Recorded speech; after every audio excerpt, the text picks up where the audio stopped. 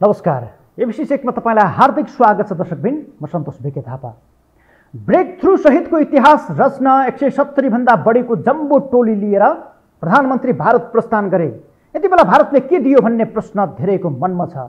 तर अधिकांश नेपालका प्रधानमन्त्री भारत जाँदा भारतले के दियो भन्दा पनि हामीले भारतलाई के दियौँ भन्ने विषय नै भोलिका दिनमा बढी चर्चा हुन्छ। टनकपुर दिएको कोशी दिएको महाकाली बुझाएकोदेखि लिपुले कालापानीसम्मका प्रश्न नेपाली प्रधानमन्त्रीका लागि कालो टिका बनाएका छन्। यसर्थ प्रधानमन्त्रीको भारत भ्रमण यो मानेमा सफल भन्नुहोस् कि? नेपालको जलस्रोतमा गिद्धे नजर गारेको भारत भारतलाई यसपटक प्रधानमन्त्रीले तल्लो अरुण र फुकोट कर्णाली मात्रै बुझाए। ओलीसँगै सल्लाह नै लिएर भारत गएका प्रधानमन्त्री प्रचण्डले चुच्चे नक्सामा भारतले चोसो पसारेपछि अखण्ड भारतको नक्सा र समेटिएका नेपाली भूमिको विषयमा बोल्न सकेनन्। ओली र देउबालाई शरणार्थीमै तह लगाएका प्रचण्डले चिन र भारतबीच सन्तुलन मिलाउन अग्नि सापकोटाको जम्बो टोलीलाई चिनको पहरेदारी गर्न पठाएर दिल्लीमा मोदीसँग हात मिलाइरहेका छन्। यद्यपि भारतको दिल खुस छ हुन त नागरिकता नै उपहार लिएर गएका गएकोदेखि इपिजीको ई पनि प्रचण्डले नबोलेपछि भारतमा अनर्थका टेक्का टिप्पणी भइरहेका छन्। यति बेला नेपाल पाकिस्तान र श्रीलङ्का जस्तो चिनको पकेट बन्ने बाटोबाट जोगिएको टिप्पणी भारतीयहरू गरिरहेका छन्। भारतको आँखा नेपालको जलस्रोत चिनसँग जोडिएका सीमा र व्यापारमाथिको एकाधिकार नै हो। जुन कुरा प्रचण्डले भारतलाई सुम्पिए चिनको निम्तो लत्याएर डरै डरै डरमा भारत हानिएका उनी हर बखत डरकै डराएकै भावमा प्रस्तुत भएका थिए। पहिलेका भ्रमणहरू विवादित भएको नजिरका अघि जनयुद्धदेखि नै भारतको निकट र संरक्षणमा राजनीति गरेको आरोप त छँदैछ। पार्टीभित्रैबाट पनि हिन्दू धर्मको ज्ञापन पत्र बुझेर भारतको महाकाल मन्दिरमा दर्शन गर्ने सन्देशले मोदीको धर्ममोहमा प्रचण्डले खेल्न खोजेका थिए। तर मोदी निकट आदित्यनाथसँग पूर्व राजाको निकटताले प्रचण्डको यो नीति पनि फिक्का साबित भएको छ। पाँचजना प्रमुख मन्त्रीमध्ये कतिको काम भने फोटो खिचाउने भन्दा केही देखिएन। केही उद्योग र व्यापारीहरू यसलाई व्यापारिक परियोजनाको परियोजनाका लागि दलदलसहित पुगेपछि भारतमा रहेका नेपाली भारतमा रहेको नेपाली दूतावासलाई अरू व्यवस्थापनको त कुरा छोडौँ। घाँस र बाँसको व्यवस्थापन नै कठिन बन्यो। त्यसो त व्यक्तिगत काम भन्दै प्रचण्डकै पछि पछि राष्ट्रपाका सभापति रवि लामिछाने कोरो टिम बोकेर भारत पुगेपछि यसलाई पनि शङ्काकै नजरमा हेर्नु परेको छ। प्रधानमन्त्री भारत हानिएकै दिन रवि भारत जानुपर्ने त्यस्तो खास मकसद के थियो? आम नेपाली जान्न चाहन्छन् जान्न खोजिरहेका छन्। प्रचण्डभन्दा एक दिन अघि नै भारत पुगेर र प्रमुख सामन्त गोयलसँग तस्बिर खिचाएका सिके राउतको साक्षीको के थियो? कि नयाँ भनिएकाहरू पनि भारतकै भक्तजन हुन् के उनीहरू आफ्नो भ्रमणबारे पारदर्शी बन्नु पर्दैन? अहिले आम रूपमा प्रश्न उठेको छ। भारतले केही दिएन भनेर चित्त नदुखाउँ। बस भारतले तुइन चुडाएर नेपाली नागरिकलाई नमारिदिए पुग्छ। सीमा बल लगाएर नेपालीमाथि गोली नचलाए पुग्छ। कृषकका अदुवा र अलैँचीमा बाटोमै कुहिने अवस्था नबनाइदिए पुग्छ। अनि हाम्रा नेतालाई जातीयदेखि धार्मिक द्वन्द्वमा लड्न पैसा नदिए पुग्छ। भारतको प्लान र हेपाह प्रवृत्तिबाट दुःखै दुःख भोगेका नेपालीहरूलाई कोरोना काल जस्तो सङ्कट प्रदान नलेखिदिए पुग्छ।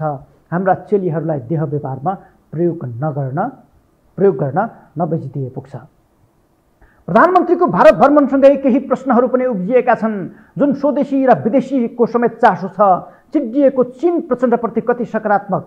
अमेरिकी इसारामा प्रचण्ड बोक्न बाध्य बनेका देउबा कति चुप बस्छन्? सडक र सदनमा आगो बाल्छौँ भन्ने ओलीको अब त्यो हैसियत छ। आखिर बत्तिस सिटे प्रचण्डदेखि ठुला दल नै किन तर्सिएका छन्?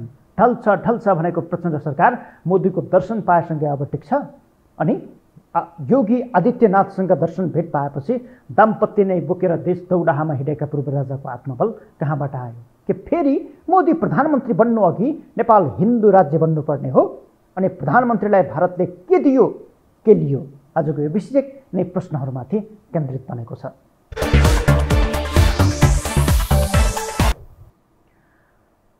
नेपाली राजनीतिमा एउटा चल्तीको भनाइ छ दिल्लीमा पानी पर्दा काठमाडौँको मौसम बिग्रिन्छ। त्यो पानीले आजसम्म कतिलाई रुझायो कतिलाई नेतृत्व भिजायो तैपनि दिल्लीको दैलो नपुगी नेपाली राजनीतिको चुलो बल्दैन।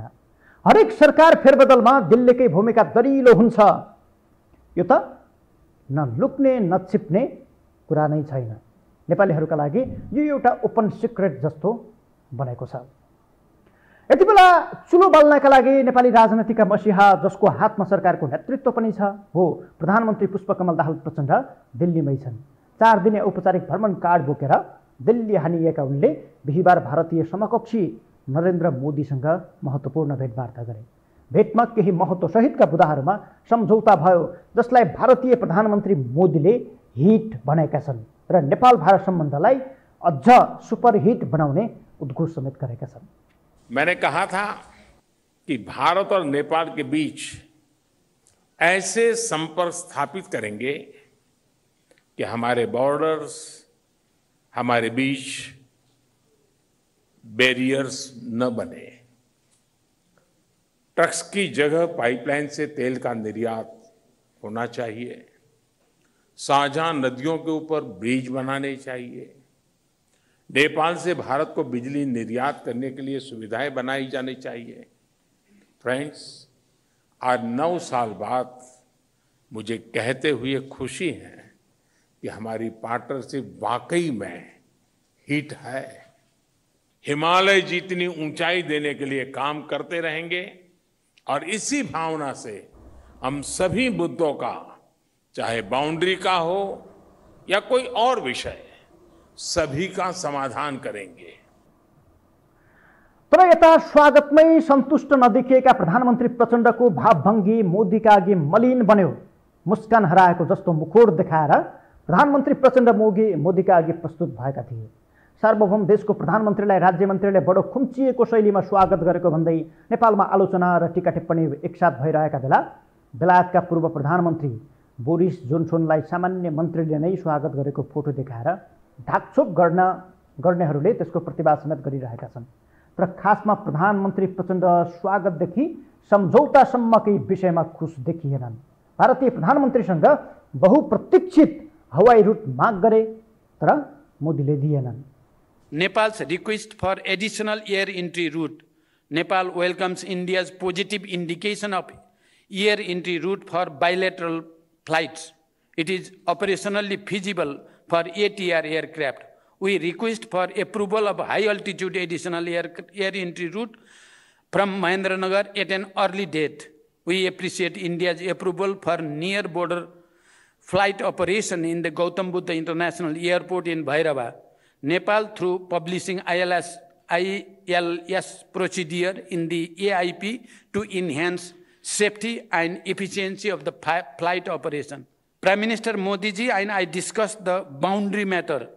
I urge Prime Minister Modi ji to resolve the boundary matter through the established bilateral diplomatic mechanism. Hyderabad हाउसमा भारतीय समकक्षी मोदीसँग दौरा सुरुवालमा ठाटिएर उभिएका प्रधानमन्त्री प्रचण्डले गौतम बुद्ध अन्तर्राष्ट्रिय विमानस्थलका लागि महेन्द्रनगरको रुट माग गरेका थिए तर मोदी सहमतिमा नआएपछि भारतले नयाँ एयर रुट दिएको छैन तथापि यो विषयमा केही कुरा अघि बढेपछि उपकरणमा आधारित अवतरण प्रणाली आइएलएस सञ्चालन गर्ने बाटो खुलेको नेपाली पक्षको भनाइ छ। यसलाई सानै सही उपलब्धिका रूपमा हेर्नु बाहेकको विकल्प हाम्रामा छैन। तर भारतले अलि बढी चासो दिएका अधिकांश विषयमा सहमति जुटेको छ। नेपाल भारत पार वहन सम्झौता नवीकरण भएको छ। सीमापार पेट्रोलियम पाइपलाइन विस्तारमा सम्झौता भएको छ। चाँदनी दुधारामा एकीकृत जाँच चौकी निर्माण हुने भएको छ। परराष्ट्र मामिला अध्ययन प्रतिष्ठान र सूक्ष्म स्वराज इन्स्टिच्युट बिच सहकार्य हुने भएको छ। तल्लो अरुणको पीडीय गरिने भएको छ। भारतीय कम्पनीद्वारा फुकोट कर्णाली आयोजना निर्माण गरिने भएको छ। क्रस बोर्डर डिजिटल पेमेन्ट सम्झौता समेत हुने भएको छ। तर यी सबै विषय प्रधानमन्त्री तहको भ्रमणका भ्रमणमा आश गरिएका विषय थिएनन् अथवा कम चासोका विषय थिए। भारतका धेरै एजेन्डा सम्बोधन हुँदा नेपालका मुद्दाले ठाउँ पाएका छैनन्। तल्लो अरुण र फुकोट कर्णाले भारतलाई जिम्मा लगाएको विषयलाई टिका टनकपुर र कोशीको पुनरावृत्तिका रूपमा व्याख्या गरिएको छ। जबकि चिनिया राष्ट्रपति सी चिनफिङले दुई हजार छयत्तर सालमा नेपाल भ्रमणमा आउँदा चिनले बनाउने समझदारी भएको फुकोट कर्णाली आयोजना प्रधानमन्त्री प्रचण्डले भारतको भ्रमणका क्रममा भारतीय कम्पनीले बनाउने गरी प्रिय भएको आज डिजिटल पेमेन्टको विषयलाई नेपाली नागरिकको व्यक्तिगत विवरण भारतीय कम्पनीलाई बुझाएको अर्थमा बुझिएको छ। नेपालको मुख्य व्यापार घाटाका रूपमा रहेको डिजेल पेट्रोलको विस्थापित डिजेल पेट्रोलको व्यापारलाई विस्थापित गर्दै नेपालमा उत्पादित बिजुली आफैले खपत गरी व्यापार घाटा कम गर्नुपर्नेमा उल्टै भारतीय तेल आयातका लागि चितवन र झापामा भारतीय पेट्रोल पम्पको पेट्रोलियम भारतको भारतीय पेट्रोलियमको शाखा विस्तार गराउँदै नेपालको व्यापार घाटा कायम राख्न भारत सफल भएको अर्थमा विश्लेषण गरिएको छ। भारतलाई दस वर्षमा दस हजार मेगावाट बिजुली बेच्ने कुरा प्रचण्ड पहिलोपटक प्रधानमन्त्री हुँदा पिटिसी इन्डियाका अध्यक्ष टिएन ठाकुरले अघि सारेका थिए। त्यसपछि प्रचण्ड सरकारले दस वर्षमा दस हजार मेगावाट बेच्न पाउने गरी कार्यदल बनाएको थियो। पछिल्लो पटकको यो दस वर्षमा दस हजार मेगावाटको कुरा पनि नेपाललाई अल्झाइराख्ने कुटिल भारतीय चाल भएको बुझ्नुपर्ने विज्ञहरू बताउँछन्। यति हुँदा पनि चिसिक्क सीमाको कुरा उठाएर उठाउनु पर्ने उठ्नुपर्ने लिम्पिया धुरा लिपुले कालापानी र सुस्ताको मुद्दा नउठाउनु सबैभन्दा गम्भीर विषय बनेको छ। एक अर्थमा लाचारीकै विषय बनेको छ। अखण्ड भारतको नक्सामा नेपालको विराटनगरदेखि लुम्बिनी र कपिल वस्तु लगायतका क्षेत्र समेटिएको विषय प्रधानमन्त्रीको भारत भ्रमणमा उठ्नै सकेन। आखिर यस्ता मुद्दा प्रधानमन्त्रीले किन उठाएनन्? नेकपा माओवादी केन्द्रका नेता कुमार पौडेलसँग हामीले जवाब माग गरेका छौँ यो हेरौँ प्राय गरी नेपाली नेताहरूको भारतीय सरकारसँग हुने गरेका विषयवस्तु नै यिनै हुन् जो राष्ट्रियतासँग सार्वजनिक सत्तासँग व्यापार वाणिज्य र पर्यावरणसँग सम्बन्धित विषयवस्तु नै हुने गर्छन् र तिनैको पेरिफेरीमा प्रधानमन्त्रीले भारत सरकारसँग वार्ता गर्नुहुन्छ प्रधानमन्त्रीले यो पटकको आफ्नो भ्रमणमा नयाँ के गर्नुभएको थियो त्यसो भए यो विगतदेखि चल्दै आएको एउटा पारवहनको विषय अम्लेखगञ्जमै भारतले पटक पटक अड्काइदिइरहेको छ। सीमा सम्बन्धीका विषयहरू स्पष्ट रूपले प्रधानमन्त्रीले उठाउनै सक्नु भएन भ्रमणमा। यो नेपालमा मात्रै उठ्ने विषय हो? भारतमा पुगिसकेपछि हराउँछ? अब प्रधानमन्त्रीको भ्रमणको टाइम अझै बाँकी छ। विशेष गरी विद्युत बिक्री वितरण गर्ने कुराहरू पनि छन्। सीमासँग सम्बन्धित विषयवस्तु पनि छलफल बाँकी छ। सन्धि समझौताको कालापानी लिपुलेकको विषयवस्तु पनि त्यति मात्र नभइकन अहिले भर्खरै इन्डियाको संसदमा अखण्ड भारतको कुरा छ। अखण्ड भारतको कुराहरू छन् त्यहाँ चाहिँ प्रधानमन्त्रीले प्रश्न भन्नुभएको छ। हामीले नेपालको चाहिँ बृहत ग्रेटर नेपालको नक्सा राख्नुपर्ने हो त। भन्दाखेरि उनीहरूको जवाब चाहिँ यो सांस्कृतिक प्रश्न भनेर उनीहरूले भने लाग्छ त्यो दिशामा नजाला र हामीले पनि छुट्टै नक्सा जो छ त्यो छुट्टै नक्सालाई व्यवहार त लगाएर जान्छ। भन्नुको मतलब जस्तो भारतीय समकक्षी सङ्घको महत्त्वपूर्ण भेटवार्तामा दरिलो ढङ्गबाट पुरा उठोस् भन्ने त नेपाली हरेक नेपालीको चाहना हुन्छ। त्यो चाहना किन प्रधानमन्त्रीबाट पुरा हुन सक्छ अब यस्तो हुन्छ वार्ता छलफल सम्वाद गर्ने कुरा मुखामुखी गर्ने कुरा होइन। होइन? कुटनीतिक भ्रमणलाई कुटनीतिक ढङ्गले नै त्यसलाई विषयवस्तु राख्ने कुराहरू भइहाले त्यसले के विषयवस्तुहरू उठेका छन्। अझ दुई दिनको भ्रमण अझै बाँकी छ। दुई दिन त सकिएको छ। छलफल बहस अझै बाँकी छन्। टुङ्गल टुङ अन्तिम समयमा चाहिँ नउठेको विषय अरूसँग उठ्दाखेरि त्यसको औचित्य हुन्छ? होइन होइन। अब जस्तै के विषयवस्तुहरू अब मूर्तिकृत पनि भएको भएका छन्। जस्तै तपाईँलाई चाहिँ सीमाको कुरा पनि भए बिजुलीको कुरा पनि भए र अरू अरू चाहिँ सन्धि समुदायको कुरा पनि भएको छन् के कुराहरू आएका छन्। कुनै कुरा नपरेका पनि हुन सक्छन् कतिपय कुरा छुटेका हुन सक्छन्। अर्को सन्दर्भमा चाहिँ त्यो विषयवस्तु अगाडि बढ्न सक्ने कुरा हुनसक्छ त्यस कारणले पहिलो वार्तामा नै सबै कुरो टुङ्गो लाग्छ भन्ने कुरो होइन। कतिपय कुरा चाहिँ अब कुटनीतिक माध्यमबाट यसलाई हल गरेर जान सक्ने अवस्था हुनसक्छ नेपालीहरूले चाहन्थे प्रधानमन्त्री प्रचण्डको यो भ्रमण अलिक फलदायी हुन्छ। विगतका भन्दा पनि अझ बढी केही सहयोग ल्याएर नै आउँछन् कि भन्ने खालको कुरा पनि थियो। तर त्यो अनुसार त भारतीय प्रधानमन्त्रीले फेरि आश्वासनमै टालिदिए हामीले माग्ने हामीले माग्ने उसले दिने। बडा कस्तो लेनदेनको प्रश्न भएको छ भने चाहिँ लेनदेन दिने कुरा मात्रै हुनसक्ने अवस्था दोहोरिराखेको कुरा पनि छ। त्यसैले सुगोली सन्धिको नियति हामीले बारम्बार भोग्नु पर्ने अवस्था छ। हिजो सुगोली सन्धि भयो ब्रिटिसहरूको उपनिवेश भयो पछि भारत अब त्यो नियतिबाट छुटकारा पाउने हामीले सम्भावना छैन। हो मैले भनिहालेँ। त्यसको लागि केही केही भूमिकाहरू गर्नुपर्छ उहाँले नागरिकता विधेयक पारित गरेर जानुभयो। अरू केही त्यस्ता त्यस्ता विषयहरू छन् जसलाई चाहिँ त्यो भारत भ्रमणसँग जोडेर हेरिएको छ। र प्रधानमन्त्रीले यो उपलब्धि स्वरूप एउटा चाहिँ कोसीले लिएर भारत भ्रमणमा गयो भन्ने खालको प्रश्न त उहाँमाथि पनि उठ्यो नि। नेपालमा मण्डल राष्ट्र राष्ट्रवादको चाहिँ अहिले बिग्री गर्न थालेको छ। प्रधानमन्त्रीको भारत भ्रमणका क्रममा खुल्ला सीमा नियमनको कुरा उठाइएको छैन। गोविन्द गौतम जयसिंह धामीले भारतीय सुरक्षाकर्मीका कारण ज्यान गुमाएको मुद्दा उठाइएको छैन। नेपालले फुलबारी बग्ला बन्द भएर बङ्गलादेश हुँदै समुद्रसम्म पुग्ने मार्ग पाउने कुरा नउठाएको प्रति सीमाविद रतन भण्डारीले चिन्ता व्यक्त गरेका छन्। कोशी गण्डक महाकाली सन्धि र सन् उन्नाइस सय पचासको सन्धि पुनरावलोकनका लागि गठित इपिजीको प्रतिवेदन दुवै देशका प्रधानमन्त्रीले बुझ्नुपर्ने कुरा यो भ्रमणमा कतै उल्लेख नभएको भारतीय विदेश सचिव विनय मोहन कत्रले सार्वजनिक गरेका छन्। अग्निपथबारले पनि कतै बोली फुटेको छैन। तर यता भारत भ्रमणकै लागि प्रधानमन्त्री प्रचण्डले धेरै थोप धेरै थोकको कुर्बान गरेका छन्। हुन त नेपाली नेताहरूका लागि दिल्ली दूर थिएन तर यसपटक दिल्लीको दैलो टेक्न प्रधानमन्त्रीले निकै सङ्घर्ष गर्नु पर्यो। झन्डै पाँच महिना लामो शास्तिपछि मात्रै प्रचण्डले दिल्लीको दैलो टेक्ने सौभाग्य पाएका छन्। दिल्ली नगई अन्त जान्न भन्ने अडानमा रहेका उनले पहिलो विदेश भ्रमणका लागि दिल्लीकै निम्तो पर्खिनु परेपछि चिन र कतारको भ्रमण समेत रद्द गरेका थिए। यसका लागि उनले देशभित्रका सबै शक्तिलाई मिलाउन सफल भए प्रमुख प्रतिपक्ष समेतलाई अनेकन स्वार्थमा गलाउन सफल भए ओली स्वार्थमा भुलेको र देउबा चुप बसेको मौकामा भएको यो भारत भ्रमणलाई प्रचण्डले सत्ता जोगाउने अस्त्रका रूपमा प्रयोग गरेको समेत बुझिएको छ। यसबारेमा राजनैतिक विश्लेषक डाक्टर विष्णु दाहालले केही महत्त्वपूर्ण विश्लेषण गरेका छन् यो हेरौँ। अब मलाई के लाग्छ भने अब मोदी कहाँ गएर प्रचण्डले के गर्छन् भन्ने कुरामा चाहिँ मलाई के लाग्छ भने उनले यहाँ त्यहाँ गएर उनलाई चोइस हुँदैन। उनले जाँदा लान्छन् खुरखुर जाने हो। होइन भ्रमणको मेरो बुझाइमा चाहिँ। किन हामी त्यो राज्यमा किन योभन्दा प्रचण्ड जानु अगाडि नै उनको सेड्युल फाइनल गर्न हाम्रो टिम गएर गरेको छैन। त्यस हुनाले उनीहरूलाई के छ भने beggars can't choose what you wants के माग्नेले चाहिँ छाने पाइँदैन भन्ने चाहिँ एउटा मनोविज्ञान चाहिँ भारतीयहरूको छ। किन छ भन्दा हामी प्राकृतिक स्रोतले धनी हुँदा पनि हामीले भारतसँगको परनिर्भरता घटाउनका लागि राज्यका लागि केही पनि गरेनौँ। राज्यका नाममा सत्तामा जान्छ संसार गऱ्यौँ तर के पनि गर्यो यो कारणले चाहिँ यो कुरा यो मनोदशाबाट भारत प्रष्ट छ। हामी नै नक्कली कुरा गर्छौँ के?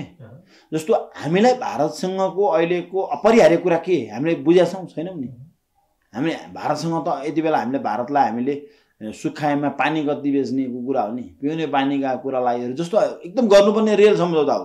रक्सोल काठमाडौँ रेल सम्झौताको डिपिआर कम्प्लिट गरेर पर्सि बनाउनु पर्ने हो। किनकि गिटी बेच्ने पनि रेलबाट हो र पानी बेच्ने रेलबाट हो नि। त्यो चाहिँ हामीसँग ब्रेक थ्रो छैन अनि त्यो अस्ति एउटा जाबो कन्टेनर पठाएर चाहिँ ब्रेक थ्रो हामी नै नक्कली छौँ क्या। म भारतले यो गर्यो भन्ने पनि छैन किन हाम्रो खोइ हो म। यो न हामीले ग्लोबल पोलिटिक्सभित्र जियो पोलिटिक्सभित्र आएको प्रभावहरू रसियाको इन्ट्रेस्ट नेपालमा किन आयो? युरेनियमको कुराहरू हामी छौँ कतै। कुनै दलले यो विषयमा विज्ञहरूसँग छलफल गरेछ? छैन नि त यो एउटा चाहिँ त्यसो भने प्रचण्ड चाहिँ सत्ताका लागि चाहिँ एकदम सहज वातावरण होस् त्यसको लागि जे तयार छु भन्ने अवस्थामा चाहिँ पुगेका हुन् अहिले। जस्तो के दृश्यहरू भनौँ है रेशम चौधरीलाई छुट्याइदिए होइन? भारतीय कुरा गर्दा नागरिकता कुरा त्यसरी नै जोडिरहेको छ। उतातिर हेर्ने हो भने चिनतिर पनि अहिले एउटा टोली छ होइन? यताभित्र यो शरणार्थी प्रकरणले जे होस् दुइटैलाई साइडमा ल्याइरहेको छ। भनेको सहजता चाहिँ अलिक बनाउन थाले हो। मलाई के लाग्छ भने एउ- एउटा चाहिँ यसको फेरि सबै एउटै आन्सर हुँदैन होइन? कुलचन्द्रजी मेरो बुझाइ चाहिँ यसमा चाहिँ मलाई मलाई के लाग्छ जस्तो आन्तरिक राजनीतिमा चाहिँ अहिले प्रचण्डलाई अरू अकर्मण्य भएको हुनाले अरू भ्रष्टाचारमा चाहिँ पर्ने सम्भावना भएको अरूसँग चाहिँ धेरै काण्डै काण्ड भएको हुनाले उनी अरूभन्दा कम्फर्ट हुन्छन् कि भन्ने एउटा यो देखिन्छ होइन एउटा सहजता यो देखिन्छ। दोस्रो भारतलाई जस्तो चिनले पहिले नै निमन्त्रणा गरेको बुवा सम्मेलनमा नगएको हुनाले उसले आफ्नो पार्टी आफ्नो पार्टीका कार्यकर्ता उता पठाएर थुम्थुम हुँदै भारत गएको छ दुईवटा कुरा। तेस्रो कुरो जस्तो चिनलाई कहाँनिर पिन्च हुने सम्भावना देख्छु भने भारतमा जस्तो चिनले बनाएको चिनको ऋणमा बनेको एयरपोर्टमा म जहाज राख्दिनँ। चिनसँगको कुरा हो। नेपालसँग कुरा हो। जोसुकैले बना नेपालको एयरपोर्ट हो नि होइन? त्यो त उसले के गर्यो भने आफ्नो बार्गेनिङ क्यापासिटी बढाउनलाई भनेको सबै हामीले मात्र गर्नुपर्छ भन्ने कुरा त भारतले दियो भने त लो त भारत भारतले भारतले चाहिँ रेल बनाउनलाई चाहिँ अनुदानमा पर्सि बनाउनु भोलि बनाउँछ सम्बन्ध गर्नु पऱ्यो नि त। एयरपोर्टै चाहिँदैन। रेलबाटै आउँछन् होइन? रेल सस्तो पनि हो फेरि। यी कुराहरूमा चाहिँ आफू पनि नगर्ने। तर एउटै कुरो चाहिँ के छ भने भारत के चाहन्छ भने आफू अनुकूलको सरकार निर्माण गर्ने आफू अनुकूलको सम्झौता गर्ने। उसको सम्झौताको स्वार्थ भनेको गिटी र पान्ने हो। त्यसका लागि चाहिँ ऊ त्यो भारतलाई चाहिँ क्रम भङ्गताले रिस- रिसाउँदो रहेछ भन्ने चाहिँ प्रचण्डले बुझेर जे गर्ने छ। यस्तो छ नि त होइन तपाईँलाई यो सबै नगर्नको लागि त के हुनु पऱ्यो इमान्दारिता हुनु पऱ्यो नि त। सत्ताको मुह हुनु भएन नि त। जस्तो म सत्ताबाट जान्छु भन्ने डर भएको जस्तो जब मान्छे डराउँछ अनि त्यसलाई कसले लखर्छ? छायाले पनि लखर्छ होइन होइन जस्तो प्रचण्ड डराए त छायाले लखर्छ। भारत चाहियो र? चाहिएन यी कुराहरूले चाहिँ के राख्छन्? कुटनीतिमा एउटा अर्थ राख्छ भन्ने मलाई लाग्छ। भनेको मतलब प्रचण्ड चाहिँ डराइ नै राखेको छ नि डराउनु चाहिँ भारत। नडराएको भए यति धेरै किन अहिलेको यो आन्तरिक रूपमा पनि यो यो बिचमा हेर्नुहोस् नायक त प्रमाणीकरण पनि आजै किन गर्नु पऱ्यो पर्सि गरे हुन्थ्यो नि। होइन? छन् त कुराहरू। तपाईँले भन्नुभएकै घटनाहरू। होइन? नक्कली शरणार्थी प्रकरणमा कङ्ग्रेस एमालेको अवसान हुने अवस्था आउँदा उनले यसलाई अवसरका रूपमा प्रयोग गर्न सफल भए। प्रधानमन्त्री प्रचण्डले भारत भ्रमण प्रस्थानकै दिन नागरिकता विधेयक प्रमाणीकरण गर्न लगाएर आफू मात्रै नभई राष्ट्रपतिलाई समेत विवादमा तान्न प्रचण्ड सफल भएका छन्। राष्ट्रपतिको कदम विरुद्ध विगतमा जस्तै अहिले पनि सर्वोच्चमा रिट दर्ता भएको छ। अधिकांश अधिवक्ता यो कदमको विपक्षमा उभिएका छन्। आम जन्म पनि भारतकै स्वार्थ अनुकूल पारित गरिएको बुझ्न कठिन नहुने। नागरिकता विधेयकबारे चित्त बुझेको छैन। तर सबै विदेशी सबै स्वदेशी शक्तिलाई अनुकूल बनाएर भारत गएका प्रधानमन्त्रीले अब चुनौतीको सामना कसरी गर्लान्? किनकि उनी भारतमा पुग्दा यता नेपालमा नागरिकता विधेयकदेखि भारतमा उठाएका विशेष ममाथि प्रश्न उठेको छ। कतै उनी भारतबाट फर्किए लगत्तै सत्ता फेरबदलको सम्भावना त छैन। किनकि पछिल्लो समय धेरै विवादित काममा प्रचण्ड मुछिएका छन्। जसलाई नक्कली भुटानी शरणार्थी प्रकरणमा सरकारले उठाएको कदमले भरपाई गरेको थियो ढाकछोप गरेको थियो तर त्यो हाई हाईमा नागरिकता विधेयकले पानी छापेको छ। कतै विवादित काम जति सबै प्रचण्डबाट गराएर त्यसपछि मात्रै सत्ताको नेतृत्व लिने वा त सत्ता हत्याउने दाउमा गठबन्धनको नेतृत्व गरेका कङ्ग्रेस सभापति शेरबहादुर देउबा त छैनन्। यो विषय पनि यति बेला प्रश्न उठेर अहम बनेको छ। तर कङ्ग्रेस नेताहरू त्यसलाई सहजै स्वीकार्न तयार छैनन्। कङ्ग्रेस कतै पनि दिग्भ्रमित हुनु हुँदैन। कङ्ग्रेससँग पनि एउटा नैतिकता छ राजनीतिक इमान्दारिता प्रस्तुत गर्नुपर्छ नेपालको राजनीतिमा। त्यो भनेको के हो भने जे सम्झौता हिजो हामीले गठबन्धन दलको बिचमा गरेका छौँ त्यसलाई असरस पालन गर्नुपर्छ। फाइदा बेफाइदा हिजो हेर्नु पर्थ्यो। हिजो प्रतिपक्षमा बस्न किन तयार नभएको?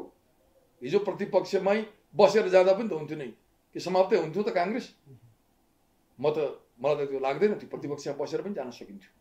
तर हामीले किन सहमति गऱ्यौँ जब एउटा सहमति गरिसक्छौँ राजनीतिमा सधैँ अविश्वसनीय पात्र भएर हिँड्न मिल्दैन अब तपाईँलाई चाहिँ हामीले विश्वासको वातावरण पनि नेपालको राजनीतिमा सिर्जना गर्नुपर्छ नेपाली काङ्ग्रेस जस्तो सबैभन्दा पुरानो सबैभन्दा जनताले को विश्वास जितेको र लोकतन्त्रमा विश्वास गर्ने पार्टीले राष्ट्रिय राजनीतिलाई सङ्लो बनाइराख्नको लागि पनि त्यो इमान्दारता हो।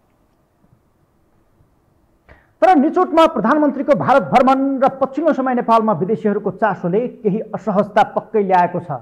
प्रचण्डको भारत महोप्रति चीन त्यति सकारात्मक देखिँदैन। केही वर्ष यता चिनको प्रभाव मत्थर पार्न अमेरिका र भारतले पूर्वाधार निर्माण रणनीतिलाई कुटनीतिको अभिन्न अङ्ग बनाएका छन्। भारतको यही रणनीतिले नेपाल अब जटिल तरिकाले भारतसँगै जोडिन पुगेको छ। फलत सरसर्ती हेर्दा प्रधानमन्त्री प्रचण्डको यसपटकको भारत भ्रमण पनि पहिला पहिला हुने प्रधानमन्त्रीको भ्रमणभन्दा फरक बन्न सकेको छैन। हौस् त आजका लागि एभिस्टेकको समय यही सकिन्छ नमस्कार।